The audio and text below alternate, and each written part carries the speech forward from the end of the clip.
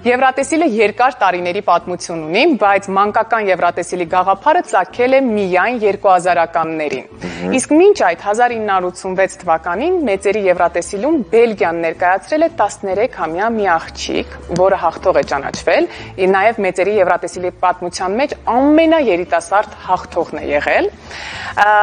Քանի որ այս դեպքերից հետո տարիքային սահմանափակում է մտցվել եւ Եվրատեսիլին մանկական կարող են մասնակցել բոլոր նրանք, ում 16 տարեկանը լրացել է։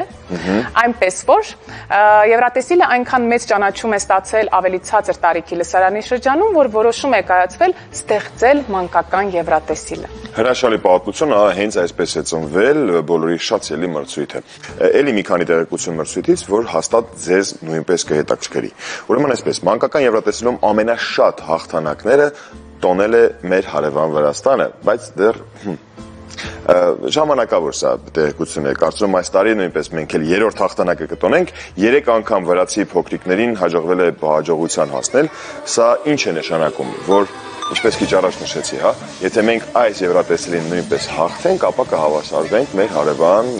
երկրին Վրաստանին, ու արդեն մենք էլ կդառնանք առաջատար ամենահաղ ամենահայտնի Վրաստանի ներկայացուցիչներն են, աղջիկները, մեղուները։ Հենց այդպես էր կոչվում, ես հիշում եմ նրանց ելույթը իսկապես շատ լավն էին։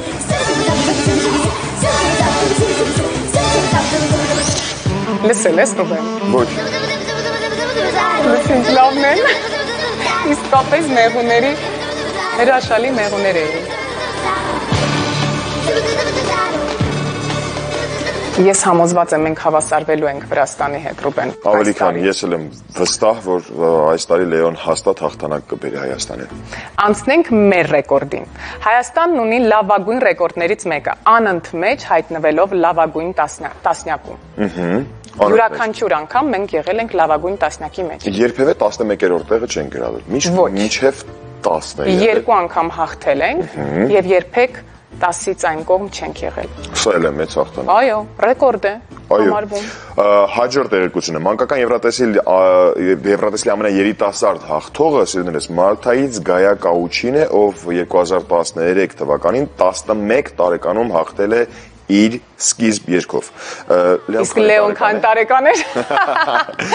Լեոն 10 տարեկան։ 10 տարեկան է։ Ուրեմն եթե հաղթենք, այս բաժնում նույնպես ռեկորդ կսահմանենք։ Ինչքան բան է դրված նրա ուսերին, Լեոյի ուսերին։ Մալթայի մասնակիցը հենց Գայա Կաուչին ենք հենց մամեն տեսնում եք պատերազմը։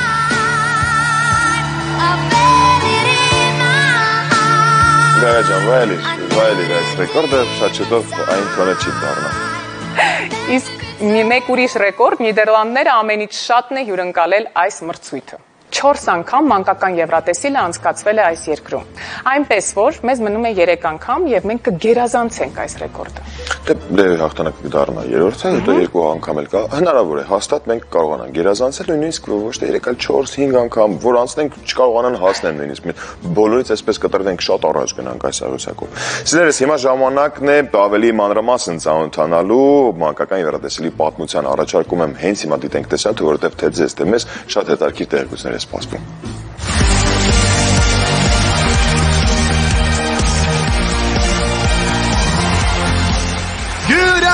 Բարի երեկո Եվրոպա։ Ողջույն բոլորին։ Հենց այս խոսքերով 2003 թվականից սկսած մեկնարկում է մանկական Եվրատեսիլ երկի մրցույթը։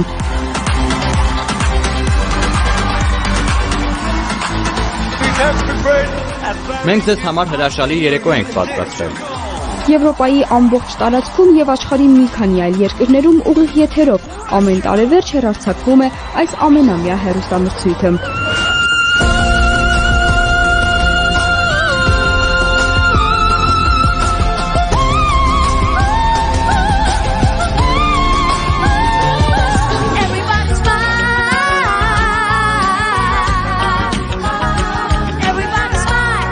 Երկուսից 3 ժամ բեմում ամենահետաքրքիր պարային եւ երաժշտական շոուներն են։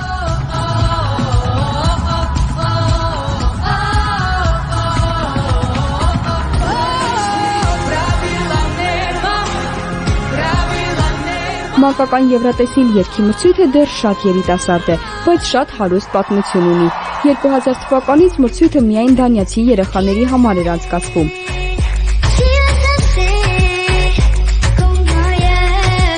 2002-ին Եվրոպական հեռարձակողների միությունը մրցույթին ներգրավեց նաև անդամ մյուս երկրներին։ Եվրատեսիլ երկի մրցույթ երեխաների համար։ Այսպես էր կոչվում արդեն համաեվրոպական դարձած միջոցառումը։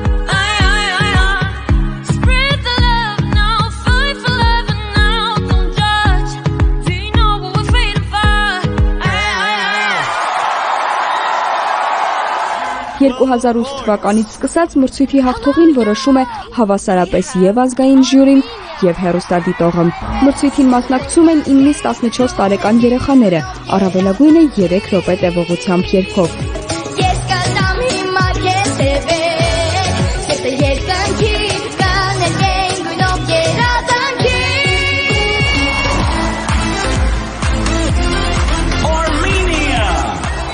Մանկական Եվրատեսիլ երկի մրցույթին պատրաստվում են դեռ ամիսներ առաջ։ Մի մեծ թիմ է աշխատում։ Նրանք ամեն ինչ անում են, որպեսզի բացի գերհագեցած շոուներից, մրցույթը նաև համերաշխություն հաղորդի եւ միավորի մարդկանց։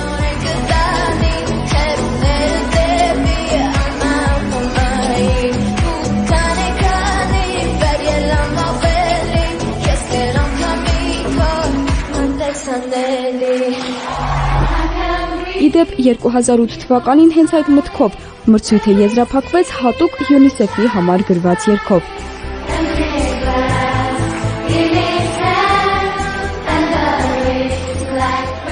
Ձերք ձերքի այն բեմից կատարեցին մանկական Եվրատեսիլի բոլոր մասնակիցները։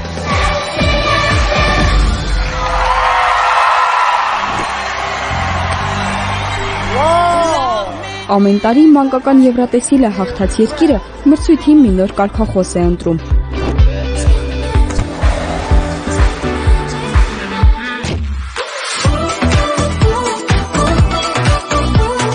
Հայաստանը մանկական Եվրատեսիլում հաջող պատմություն ունի։ Երբեք թոփ տասնյակից դուրս չի եկել։ Այս տարի մանկական Եվրատեսիլ 2024-ը տեղի է ունենալու նոյեմբերի 16-ին Իսպանիայի մայրաքաղաք Մադրիդում։ Իդեպ նշեմ, որ առաջին անգամ է հյուրընկալում Իսպանիան մանկական Եվրատեսիլին։ Այո, ես կարող եմ ավելի շատ զարմացնել, հատկապես այս տեղեկությունը, որ 1969 թվականից ի վեր Իսպանիայում ոչ մի Եվրատեսիլ, ոչ մեծերի, ոչ էլ փոքրիկների չի անցկացվել։ Եվ այս երկար ընդմիջումից հետո Եվրատեսիլը վերջապես գնում է Իսպանիա։ Պետք է որ նրանք բավականին այսպես լավ պատրաստված Պատրաստված լինեն, չէ՞։ Պատկերացնում ես ինչ հետաքրքիր շոու է սպասվում այս տարի։ Այս տարի մրցույթին մասնակցելու է 17 պետություն եւ երկար ընդմիջումից հետո վերադարձել են Կիպրոսն ու Սան Մարինոն։ Այո, եւ այս տարվա Ինչու էին վերցրել այդ ընդմիջումը։ դե չունեին երևի լավ մասնակիցներ կամ Այս տարի ունեն, գտել են։ չեմ կարծում, բայց լավ, թող մասնակցեն։ Ոչինչ, կկան։ Մենք չենք վախենում։ կձևավորեն։ Այս տարվա կարգախոսն է իդեպ սիրներս, եկեք ծաղկենք, ինչպես նաև թեմային համապատասխան մրցույթի տարբերանշանին պատկերված է ծաղկող ծաղիկ, որը խորհրդանշում է մրցույթին մասնակցող երիտասարդ ծաղկող երգիչներին։ Հետաքրքիր միտք է, ինչ խոսք։ Մանկական Եվրատեսիլ 2024-ի հաղորդավարներն են Իսպանիան 2014-ին մեծերի Եվրատեսիլում ներկայացրած Ռութ Լորենցոն, 2019-ին մանկական Եվրատեսիլում Իսպանիան ներկայացրած Մելանի Գարսիան, ոչ ոքի չենք հիշում, եւ իսպանացի մոդել եւ դերասան Մարկ Կլոտետը։ Ահա Կարող նրան ենք դիմավորեք։ նրանց հիշել։ Եվ հիմա հասանք ամենակարևոր հատվածին, մենք շատ շուտով կվայելենք Լեո Մկրչյանի կատարումը տեսահոլովակի տեսքով, արդեն կդիտենք ու որից հետո կվերադառնանք տաղավար, վստահեցնում եմ ձեզ շատ հաճելի անակնկալ է սպասվում։ Welcome to my world. I take you to the place where dreams will come alive.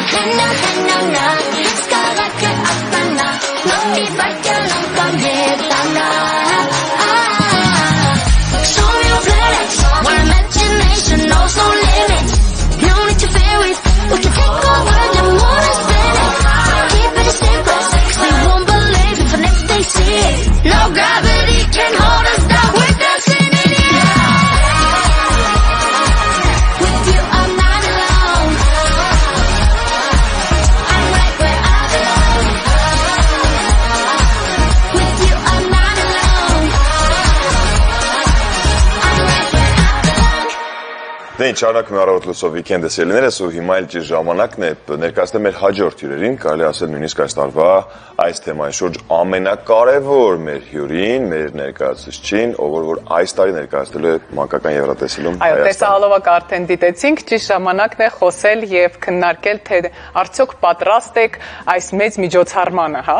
Գրիպսիմե Հակոբյան եւ Լեո Մկրչյան։ Բարի լույս, Բարի շատ լույս, ուրախ բարի եմ մեր բարի տաղավարում լույս։ տեսնել։ Ինչպես է տրամադրությունը, Լեո։ Շատ լավ։ Շատ քիչ հաշված օրեր են մնացել, պատրաստ ես։ Այո։ Լիովին, չէ, Լիովին տրամադրությամբ գնում ենք միմիայն հաղթելու։ Գիտես, որ այս տարի եթե դու հաղթես, կոչնորիվ Հայաստանը, այսինքն հաղթող ճանաչվի,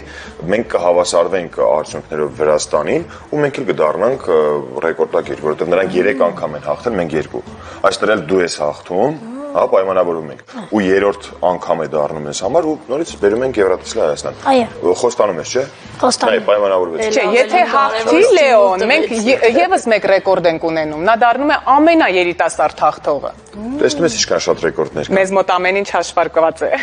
Լավ, սկսենք ամեն ինչ սկզբից։ Լեո, ա, արդյոք ունեիր այդ ցանկությունը մանկական Եվրատեսիլին մասնակցելու եւ եթե այո, ինչու։ Հետևում էիր։ Ունեի որ ճիշտն ասեմ, երբ ես իմացա այդ լուրը, մեծ ուրախություն էր ինձ մոտ եւ ամբողջ մի ամբողջական պատասխանատվություն։ Իսկ հետևում էիր մանկական Եվրատեսիլին։ Այո։ Եվ հետևում էր պատկերացնում էր, որ դու մեկ օր կհայտնվես այդ բեմում, կախարդական։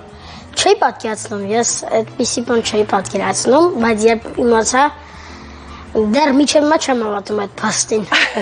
Մինչև չգնա եւ չհայտնվի այդ բեմում, երևի թե չես էլ հավատա։ Լավ, մենք մի քիչ հետևելով տեսանյութերին, ձեր վիդեոները, որոնք որ հրապարակվում էր, հաճել էր վստահ եմ, որ այդ լուրը եկաք հայտնեցիք Լեոին։ Իսկ դուք սպասում եք այդ ամենին, թե անսպասելի էր։ Ոչ, որովհետև ը, վերջինս հարցազրույցներում միշտ ուզում եմ նշել ու նշում եմ, որ սա երկրորդ տարին էր, որ մենք մասնակցում էինք նախընտրական փուլին, անցած տարի եւս մասնակցեցինք, չընտրվեց, ինձ թվում է փոքր էր դեռ ինքը, չնայած իհարկե ահռելի է տարբերությունը անցած տարվա ու այս տարվա իր հենց մեկը երկելու մեջ մեծացել է, ավելի կայուն է, ավելի շնչառություն է, այսեն շատ կարևոր բաներ Դե դուք մայր եւ հայր որպես պրոֆեսիոնալներ հստակ կարող եք այդ տարբերությունները Հա, տեսնել։ շատ ավելի ակնհայտ է այդ տարբերությունը, բայց քանի որ նախորդ տարի տվյալ արդյունքն էր, ը, ճիշտն ասած, մի փոքր անկեղծ կլինեմ, ես մտածում եմ, որ մեր ֆակտորը այսինքն այս պարագայում հայտնի լինելը ինչ որտեղ կարող է խանգարել նրան ընտրելու հարցում ու կխանգարի կապ չունի նա իրենից ինչ է ներկայացնում իր տաղանդը, էներգետիկան մտածում ենք որ այդ ավելի կխանգարի որ հայտնի մարդու երեխա կարծում եմ ճիշտ չի ընտրեն ու մեր տանը նույնիսկ այդ խոսակցությունը կար, ամուսինս դեմ էր, որ ինքը մասնակցի, այս տարի եւս, ասում էր դու միշտ դու մի բան մտածում ես, գնում ես այսպես Բայց մայրը հաղթեց, մայրը հաղթեց։ Բայց ես ասացի, թող ինքը մասնակցի, թող այս տարի եւս չընտրվի, որովհետեւ ինքը տեսակով էլ կոտրվող չի, բացարձակ Այդ սա շատ կարևոր փաստ է։ բացարձակ ու հենց ես դրա մասին իրեն ասել էի ու ասել եմ Լեո նույն բանը կարող է լինի այս տարի ոնց որ անցած տարի է եղել ասաց օքեյ ես ուզում եմ մասնակցեմ ես ուզում եմ ինձ տեսնեն ես ոնց եմ փոխվել ուրիշ ինչ եմ կարողանում երկել ու այդպես ու այդպես մասնակցեց ու գնացինք Միացյալ Նահանգներ, քանի որ Լեոն էստեղ է բնակվում։ Մայրիկիս, հայրիկիս հետ է հիմնականում ինքը էստեղ լինում, որովհետեւ սովորում է Քվանտ վարժարանում, որովհետեւ ես կրթության վրա այդպես մի քիչ ոչ adekvat եմ։ Իմ համար ամենաառաջն այն է, թե որ իր կրթությունը, որ չտուժի, մանավանդ որ սովորելու հետ ծեր ունի։ Այսպես ինքը այստեղ է սովորում, ու քանի որ անցած տարի ամբողջովին էստեղ է եղել, անդադար այդպես ասում էր, որ ուզում եմ ձեզ մոտ, ձեզ մոտ, ասեցի դե լավ, այս տարի էլ որ չենք ընտրվում, կարծես թե գնանք թող այս առաջին կիսամյակը մեզ մոտ անցկացնի։ Այնքան հետաքրքիր է, որ ամեն բան Լեոյի պարագայում այնքան միամիտ է լինում։ Այսինքն մենք, քանի որ դեռ այդպես ստաժիտ անցած չենք, դեռ գործող երկի երկչուի ենք ու չեմ կարծում այդպես ընկալելի էր մեր կողմից, որ երրորդ մարդ էլ ավելանար ընտանիքում վեմի, մի փոքր շատ ավելի բարդ է։ Դրա համար այդպես հատուկ վերաբերմունք չի եղել այդ ամենին։ Այսինքն ուղակի ստացվել է, օրինակ մրցույթ էր American Idol, ասաց ուզում եմ ես մասնակցեմ, մասնակցեց, ասավ երրորդ փուլ, էլի վերադարձավ իր դասերին, այնտեղից էլի առաջար, սենց է մեզ մոտ ինչ որ իր հետ կապված ստացվում։ Միամիտ Բայց ամեն դեպքում երբ որոշեցիր, որ դու պետք է երկես։ Ես որոշեցի 5 տարեկանից դա ես 8 ամսեկանից երգում եմ։ Եղա Ռուբեն 8 ամսեկանից Ութ ամս- երկու։ ամսեկանից երգում եմ խոսալուս հետ։ ասենք փոքր ժամանակ կարողա տատիկի սովորած ա, սովորացած արտասանությունները ասեի ու մանկապարտեզի երգերը երգեի տանը գալիս էի տուն մամայիս հետ սկսել խոսել երգում էի ու համատեղ Այդպես։ հա այդ տեսանյութն էլ կա, երբ ես Հյուստոն եմ երգում, ինքը այդ նույն նոտաները վերևում երգում է հենց այդ Բայց մենք ունենք այդ տեսանյութը, երբ դու այդ լուրը ամուսնուդ հետ միասին հայտնում եք Լեոին։ Պատեկրանին խնդրեմ։ Մի հատ բան պետք է ասեմ։ Նայ։ Ոնց ասեմ։ Լեո, դու ներկայացնելու ես Հայաստանը Եվրովիզիոնայում ապեր։ Ռիքսինե դու հուզվում ես։ Երբ իմացար այդ Մենք այս լուրը իմացել ենք Մարտինը հուզված։ Մենք այս լուրը իմացել ենք սրանից, ոնց որ իրան տարել ենք առավոտյան դպրոց ժամի 7-ին։ Ոնց էս ներկայ։ Իդեպ 10 օր էր որ ընդունվել էր այնտեղ դպրոց։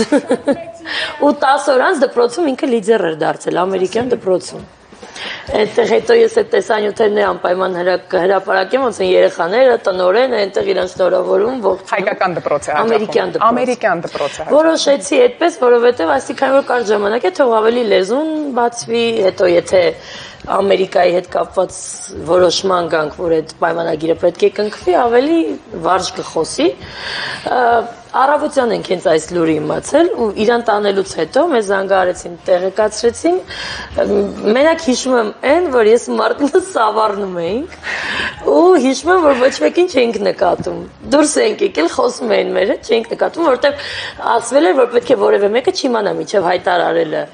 Սենց երկուսով այդ էմոցիան չգիտես, ինչ անես, ինքն էլ էմոցիոնալ է, իրան ասենք, չասենք։ Սենց անհասկանալի մի հատ վիճակ էր, բայց իհարկե ինչ խոս, դա շատ շատ անբացատրելի զգացողություն էր, բայց հետնել այնքան մեծ պատասխանատվություն է մեր պարագայում, որովհետև մենք լինելով բեմի մարդ, այդ ամենը գիտակցում ենք։ Այդ Վախեր կան, հուզմունքը, որպեսզի երեխան չզգա այդ ամբողջ իրավիճակը, նույնիսկ այդ ժամանակ լարվածությունը։ ինչ որ բան եղավ, ստեղ էինք արդեն, պետքա արյան անալիզներ հանձնենք, ինքը ասեղից սարսափելի վախենում, հա։ Ու ասեց, «Պապ, խնդրում եմ, ինչ ուզում ա լինի, ասա ինձ չծակեն»։ Թող դեղեր նշանակեն առանց ոչ մի բանի, ու սկսեց հուզվել լացել։ Հերախոսը անջատեցի, Մարտինը գրել ասում կարող է հանկարծակի բեմում ենք սկսի ինչ։ Ասում եմ մարդ չէ, այդպես բաներ արի չկարան։ Չենք մտածում այդպիսի բաների մասին, Լեո, մենք քեզ հավատում ենք։ Չէ, ոչ մի բանի չենք վախենում, հա։ Լավ, Լեո։ Ես ընդհանրապես բեմերից այ բեմ բեմ ես հենց բեմ եմ դուրս գալի, այն որ կարող է բեմից առաջ աղավոր հուզվեմ։ Բայց բեմ եմ մտնում, ոնց որ բանը սկատրված չլինի։ Տեսնում ես, կախարդական, կախարդական ուժ ունի բեմը։ Մամայիս եւ հայրիկիս ը, մենամերգը Palm Spring-ում ես էլ էի հանդես եկել ը, մ, դ- երդվում եմ ամենալավ ուրախ էր այնքան ուրախ էի որ կուզեի էլի երգեի շատ լավ Դե կա Կարևոր այդ փորձը ունեցել է բեմ դուրս գալու։ Այո։ Լսի, դու հաճախ ես տեսանյութեր հրապարակում, հա, փաստորեն Instagram-ում։ ոչ հաճախ բայց հրապարակում Իսկ Instagram-ով դու ես զբաղվում թե մայրիկը։ ես ինքը Երկուսով։ Այսինքն դու դիտում ես այդ իրավունքի չի լինում։ իրավունքը չէ, բայց այնուամենայնիվ մեկնաբանությունները կարդում ես։ Այս շրջանում չէ, հիմա չի կարծում, Ես հիմա չեմ կարդում, բայց այն ժամանակ որովհետև ը, ամեն տեսակ մեկնաբանության հետ կարող են Այո, բախվել համաձայն եմ, հիմա։ ավելի լավ է հերո բայ։ Իսկ հետևում ես ինչքան դիտումներ ունեն քո տեսանյութերը։ Այո։ է ամենաշատ դիտում ունեցածը կարծեմ Լադանիվայի Չէ, երգի Հա, Լադանիվայի երգի ը, կրկնօրինակներ, բայց ավելի ուրիշ ձևով եղբորս էի ներկայացնում այդ երգով։ Եվ ինչքան դիտում ունի մոտավորապես։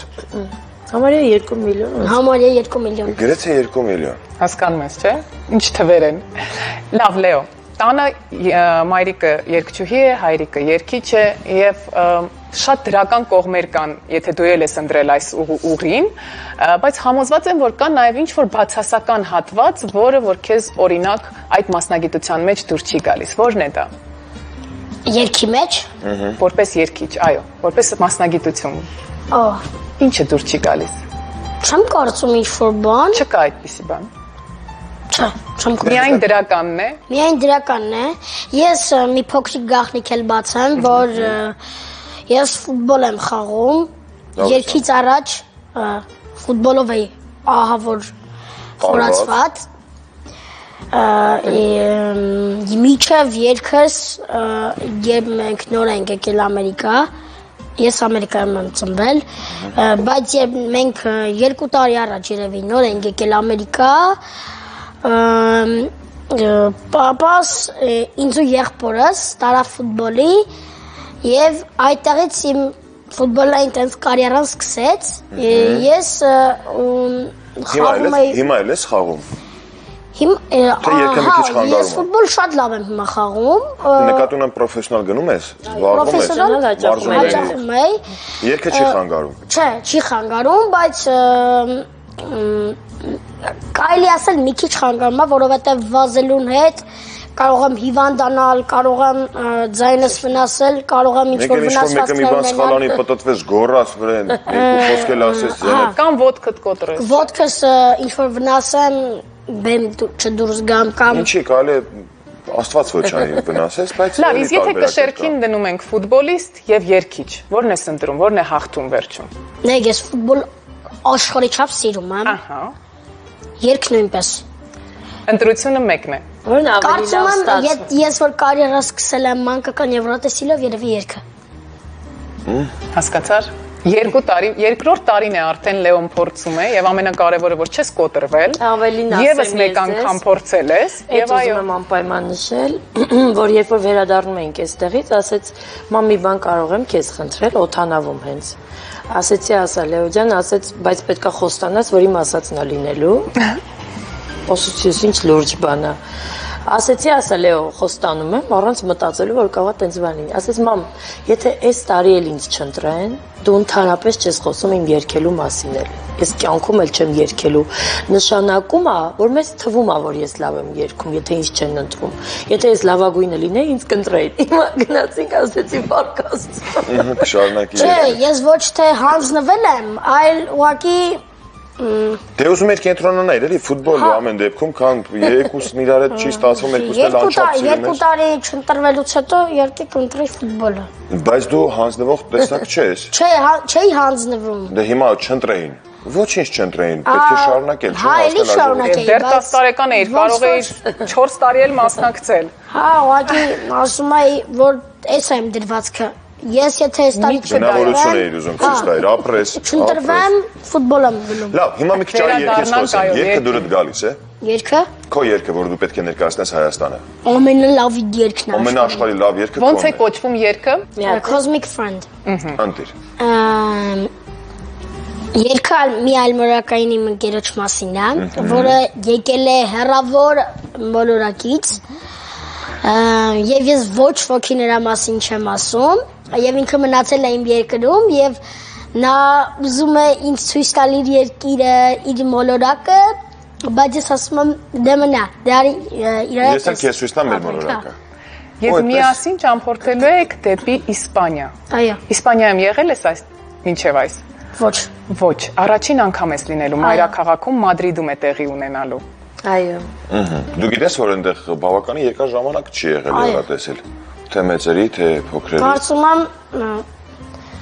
որ տեղեկացված է Եվրատես։ 69 որ թվականից թվականներ Իսպանիան հաղթել, իսկ է, մի հատ դեռ նոր է սկսել կարծում եմ Եվրատեսիլը 7 3-4 տարի էր, թե ինչ սկսել էր Եվրատեսիլը։ Հաղթել է Իսպանիան, ոնց որ ընտեղ են արել։ Մեծերի եվրատեսիլը։ Եվ մանկական եվրատեսիլը առաջին անգամ է տեղի ունենում Իսպանիայում։ Մեծերին, հա, մեծ- Մեծերին։ մեծերին։ Այո։ Հրաշալի։ Բարերը ով է գրել երկի։ Բարերը գրել է Վարան Պետրոսյանը հայերեն տարբերակը, անգլերեն տարբերակը։ Մալենան Անգլերեն տարբերակը։ Երաժշտությունը։ Երաժշտությունը Տոկիոնային, նույն ինքը Դավիթ Բադալյան։ Բադալյանը։ Իսկ տեսահոլովակը Տեսալվակը մեր շատ սիրելի Արտուր Մանուկյանը, ում հետ հաճույք է աշխատելը։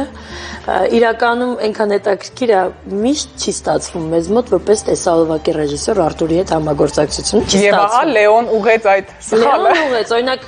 Մարտինի ու մենահամերգը Դոլբիում Արտուրն է էլի եղել ռեժիսոր մեր կարևորագույն կյանքի օրերը, իրեն ենք վստահել։ Իմ համալիրի մենահամերգն է Արտուրը եղել ռեժիսոր, բայց տեսահոլովակ Լեոն առաջ ընկավ։ Էն էլ ինչ տեսահոլովակով։ Լեոն, նշեցիր, որ սովորում ես Քվանտ վարժարանում։ Արդյոք քո դասընկերները տեղյակ են, որ դու ես ներկայացնելու այս տարի մանկական Եվրատեսիլում Հայաստանը եւ ինչ արձագանքներ ես ստացել։ Այո, երբ ես իրենց առաջին անգամ տեսա իմ ծնունդին, Ահա։ զգուշացնեմ, որ հոկտեմբերի 12-ին իմ ծնունդն էր։ Մենք իմացանք։ Մի քիչ ուշացումը վանդոներ մեր շնորհավորությունները։ Մերսի շատ շատ։ Ա, Նրանք երբ իմացան, որ ես գնում եմ մանկական Եվրատեսիլ, իրենք այնպես էին ինձ գրկում, որ իմ մայրը մա- մա- մաշկ արդեն բլոկվում էր։ Այսպես բռնել էին։ Շատ ուժեղ էին հա։ գրկում։ Այնքան էին Դե, ո, դե։ այնքան էին ուրախացել, որ խոսքեր չեմ կարող ասեմ։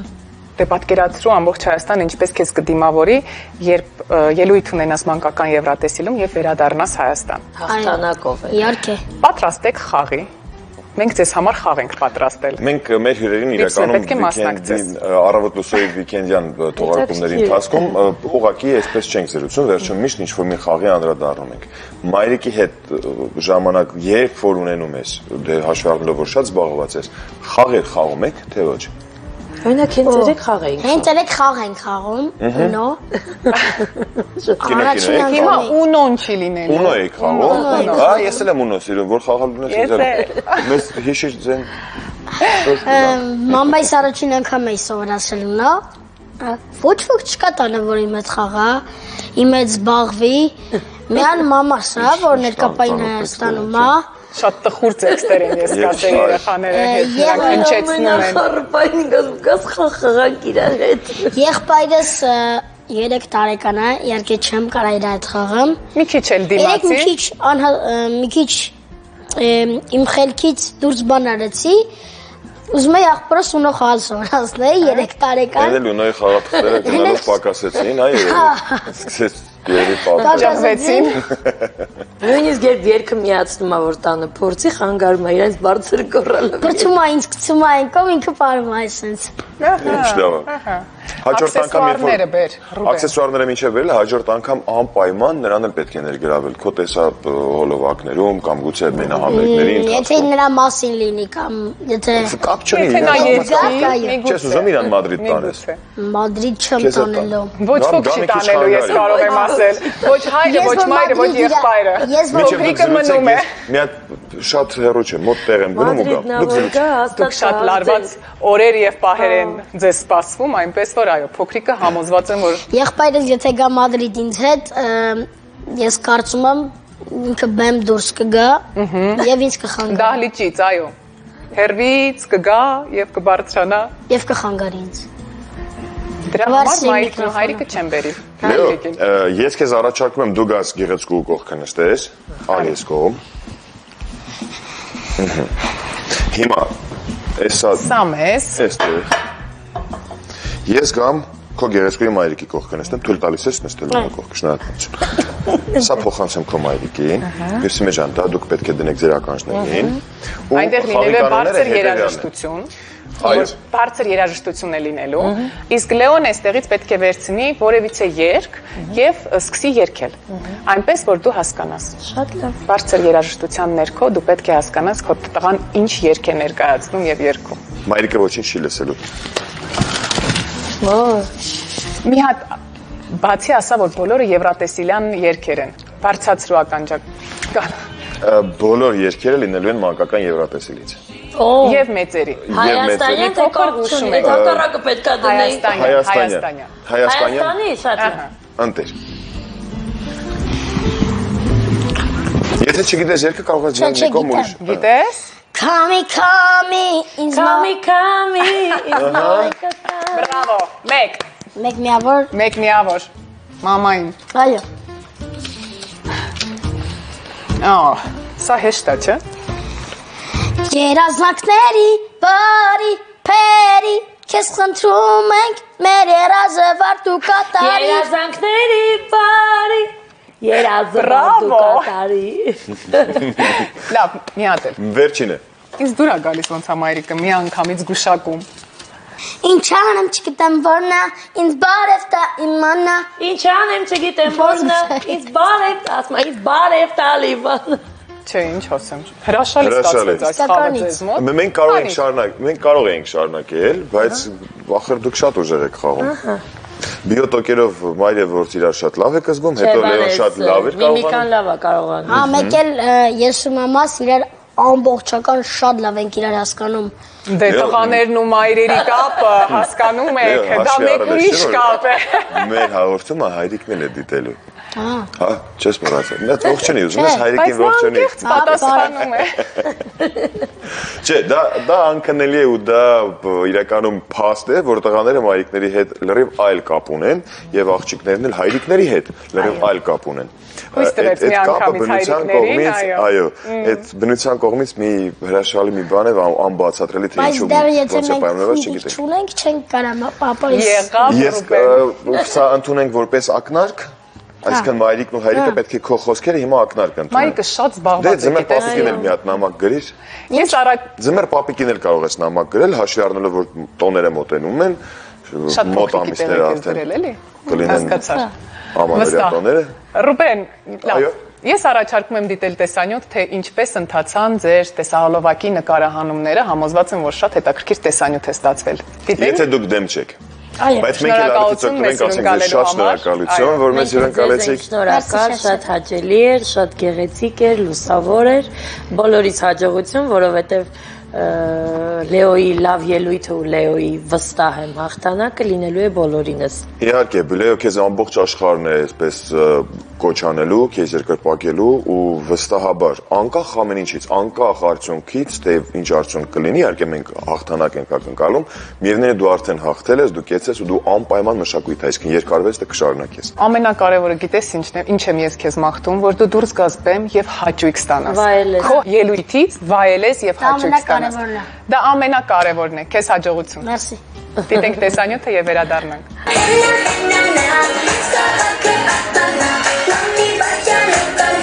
Հերթական մանկական եվրատեսիլը, հերթական սպասումները, հերթական հարյուրավոր հայտերը։ Ընտրությունը բարդ էր։ Շնորհալիները շատ էին, բայց պետք է ընտրվեր մեկը։ տևական ընտրությունից հետո, ինչպես տեղական, այնպես էլ միջազգային էքսպերտների ֆոկուս խումբերի կարծիքի եւ քվեարկության արդյունքում ընտրվեց Լեոն մեր պատվիրակը եւ այսօր տեսահոլովակի մրցության երկի տեսահոլովակի նկարահանումն է։ Ուշադրություն, մատոր, Լեոն մեծացել է երկիչների ընտանիքում։ Ծնողները հիշում են, որ տղայի խոսելու եւ երգելու փորձերը կարծես միաժամանակ են սկսվել, երբ դեռ 1 տարեկան էլ չկար։ Լեոն այդ ժամանակ գտնվում էր մեզ մոտ Ամերիկայի Միացյալ Նահանգներում ու շատ մեծ անակնկալ էր։ Մի փոքր ժամանակով եկել էր այնտեղ, քանի որ այստեղ է սովորում, այստեղ է հաճախում առաջին իսկ դասարանից դպրոց։ Լեո, դու ներկայացնելու ես Հայաստանը Եվրավիզենիայում ապեր։ Չեմ սպասում այդ լուրին ու այդ պատասխանատվությունը վստահ իր վրա վերցրել է, որ պետք է լավ ներկայանա։ Ահա որ շատ ուրախ էի ա, մեծ պատասխանատվություն զգացի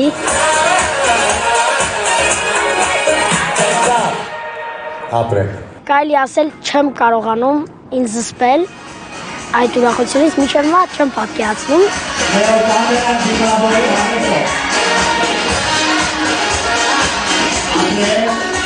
Տասնամյա Լեոյի մրցութային երգը երկար են ընտրել։ Արել են այնպես, որ փոքրիկ երգիչն իր ամբողջ էներգիայով լցնի դահլիճը։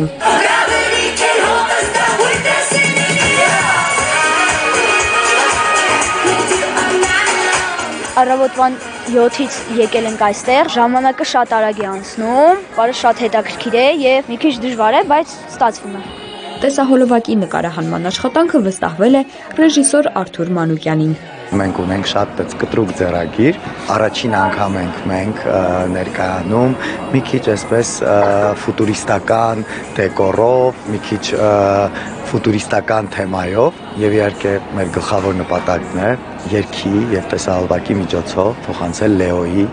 մեծ էներգիան, որը պետք է հասնի եւ վերադառնա իրեն, որպեսզի բեմում ինքը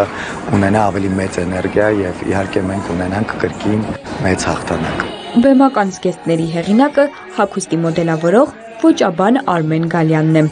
Բոլորս մոլորակներից ենք եկել, այլ մոլորակայիններ ենք, Մարսից ենք եկել, սենց դեմքերը սենց ներկած ու ես շատ ուրախ եմ, որ նկարվում եմ Լեոյի կլիպում։ Ես շատ եմ սիրում իմ կերպարը։ Կուլիսներում մեծ թիմ է աշխատում։ Բոլորի նպատակը նույնն է՝ անել ամեն բան, որ Հայաստանը լավագույնս ներկայացվի մանկական Եվրատեսիլ երգի մրցույթում։ Էլի, էլի, էլի, էլի։ Պատրաստ։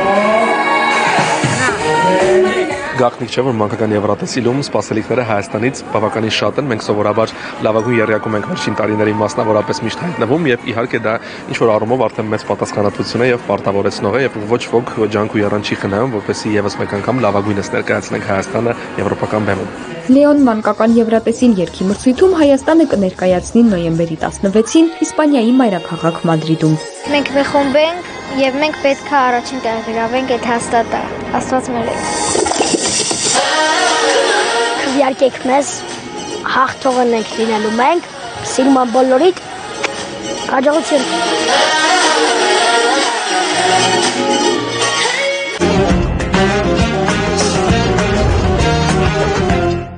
Ահա, այսօրվա մեր առավոտոսով վիկենդը մոտեցավ ավարտին, մեզ մնում է ընդամենը մաղթել մեր երիտասարդ, գուցե պատմության մեջ ամենաերիտասարդ հաղթողին մանկական Եվրատեսիլում, որը 10 տարեկան է, խոսքը իհարկե մեր մասնակցի Լեո Մկրչյանի մասն է գնում, որի հետ որ քիչ առաջ շատ հետաքրքիր զրույց ունեցանք։ Այո, եւ մենք անհամբեր սպասում ենք նոյեմբերի 16-ին մանկական Եվրատեսիլ 2024-ին, որտեղ մասնակցում է Լեո Մկրչյանը եւ ներկայացնում է Cosmic Friend երգը։ Մենք լինելու ենք շատ ակտիվ, մենք աջակցելու ենք ու կաջալերելու ենք մեր մասնակցին, այնպես որ ամբողջ աշխարհի մեր ամբողջ հայությանն ենք այս պահին կոչանում, դուք էլ եղեք ակտիվ, հետևեք, որպեսզի կարողանանք հաղթել եւ երրորդ անգամ բերենք Հայաստան։ Այո, ռեկորդներ ունենք, չէ, սահմանելու։ Դե ինչ, այսքանն էր այսօրվա մեր առավոտ լուսով վիկենդը, սիրելիներս եղեք երջանիկ, սիրեք ինչքան կարող եք ու եղեք բարի։ Ամեն ինչ ասված է։ Ցտեսություն։